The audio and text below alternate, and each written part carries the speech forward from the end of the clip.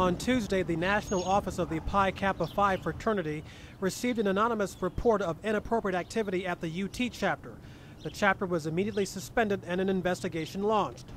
I asked the national chapter for an update on the investigation. A spokesman sent me an email saying, Our investigation into the anonymous report is still ongoing, and so we do not have any additional details to share at this time. I asked a number of students on the UT campus today about this situation. Um, I haven't heard of it, but I wouldn't say it surprised me just because I think there's still like a culture about it. Um, even though like I don't think it happens as much, um, I definitely have heard about things. I spoke on the phone with UT spokeswoman Megan Cunningham. I asked her what individual or organization on the UT campus was investigating this matter, and I also asked her how many students were involved in this alleged incident and what was the inappropriate activity. To those questions, she replied, The matter is under investigation. I spoke to Nathan Perez, a senior from Columbus who is a member of a different fraternity.